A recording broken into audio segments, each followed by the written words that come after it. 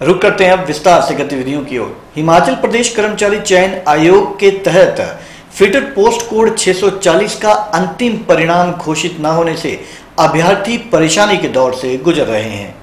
बेरोजगारी की मार झेल रहे प्रदेश भर के सैकड़ों युवाओं द्वारा कर्मचारी चयन आयोग हमीरपुर के कार्यालय के बाहर आकर रोष व्यक्त किया गया और दो टूक शब्दों में चिताया गया कि अगर सात दिन के भीतर परिणाम नहीं निकाले जाते हैं तो प्रदेश भर के बेरोजगार अभ्यर्थी कार्यालय के बाहर धरना प्रदर्शन करेंगे।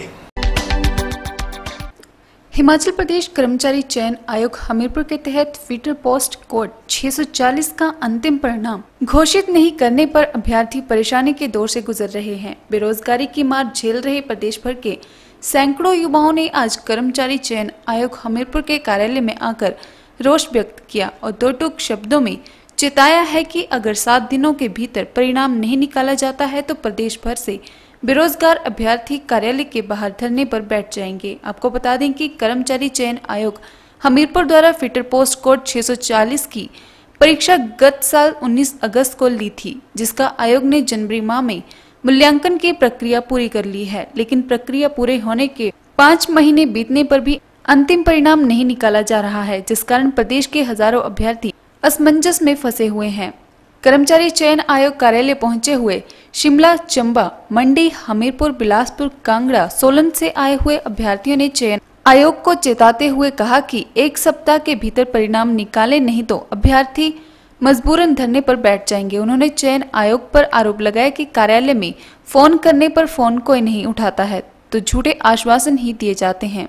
अभ्यर्थियों का कहना है कि फिटर पोस्ट कोड के साथ ली गई बाकी एक दर्जन परीक्षाओं के परिणाम आ चुके हैं, लेकिन फिटर पोस्ट कोड का परिणाम लटका हुआ है। आप सिलेक्शन कमीशन हमीरपुर ने 19 अगस्त 2018 को एग्ज़ाम लिया था। पोस्ट कोड है 640 जूनियर टेक्नीशियन फिटर। उसमें जो था 19 अगस्त को एग्ज़ाम लिया था।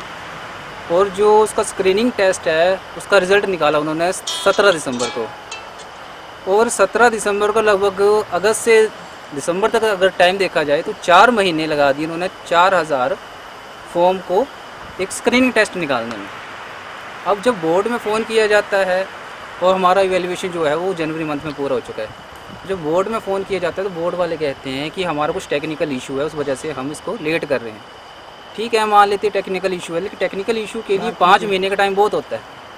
लेकिन स्क्रीनिंग टाइम में तो कोई टेक्निकल इशू नहीं था तो फिर चार हज़ार को उन्होंने रिज़ल्ट निकालने के लिए चार मंथ का टाइम क्यों लगा दिया?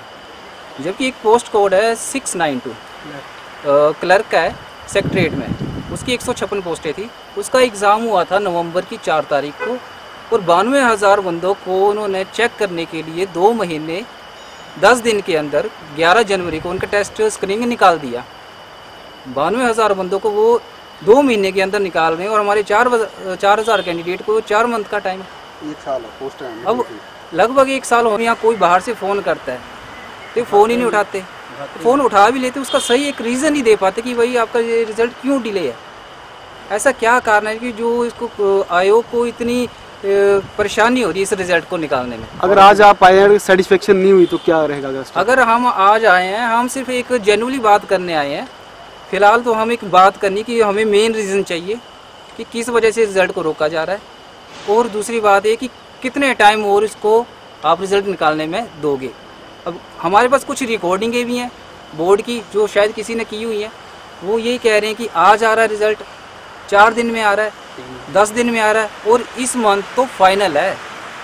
कब, कितना टाइम होगा फाइनल के लिए? सभी बेरोज़गार बैठे हुए हैं। कोई भी यहाँ पे गवर्नमेंट जॉब नहीं कर रहा, या प्राइवेट जॉब नहीं कर रहा। सबको जॉब की ज़रूरत है। इसलिए हमारे इनसे एक रिक्वेस्ट है कि जल्द से जल्द, जो भी इनकी त्रुटियाँ हैं, जो भी इशू हैं, इसको पूरा किया जाए। और हमारा जो रिज़ल्ट है, वो विद इन इस मंथ में, एक हफ़्ते का टाइम दे रहे हैं हम। वो टाइम दे चुके हैं हम। पाँच महीने, कोई ऐसा नहीं, जब इस पे, को इस पे रिज़ल्ट के ऊपर कोई केस भी नहीं लगा हुआ है। कि किस केस की वजह से इसको डिले किया जा रहा है। तो हमारे से एक निवेदन, एक रिक्वेस्ट है, एक हफ़्ते के अंदर इसको रिज़ल्ट डिक्लेयर किया जाए। अगर एक हफ़्ते के अंदर आयोग इस रिज़ल्ट को डिक्लेयर नहीं करता है तो हमें दोबारा मजबूरन यहाँ पे धरना प्रदर्शन भूख हड़ताल कुछ भी करना पड़े, लेकिन हम सभी अपने हक के लिए तैयार होंगे। इसके लिए जितने भी कैंडिडेट कोई मंडी से आया कोई चंबा से आया कुल्लू से आया हमें एक सर्टिफिकेशन चाहिए कि क्या हो रहा है इस पर। इसलिए आज मैं रामेश्वर डिस्ट्रिक्ट शिमला से बिलोंग करता हूँ। और हम- हमने six four zero post code junior technician fitter के एग्ज़ाम के अंडर हमने एग्ज़ाम दिया। है उन्नीस अगस्त में दिया है सर। तो काफ़ी टाइम हो गया सर लगभग एक साल होने को आ रहा है। इन्होंने फाइनल रिज़ल्ट नहीं दिया। है जबकि जनवरी में हमारी इवोल्यूशन शेड्यूल सब कुछ क्लियर हो गया है। इसके बावजूद भी हमारा रिज़ल्ट नहीं दिया जा नहीं दिया जा रहा। सिर्फ़ एक जनरल रिक्वेस्ट करने आए फिर अगली बार और देख लेंगे एक बार रिक्वेस्ट करके और देखेंगे फिर भी नहीं आता तो सर हमारे को मजबूरन कोई ना कोई स्टेप लेना पड़ेगा भूख हड़ताल धरना धरना जो भी जो कुछ भी रहेगा हम वो करने के लिए वो करने के लिए तैयार है सर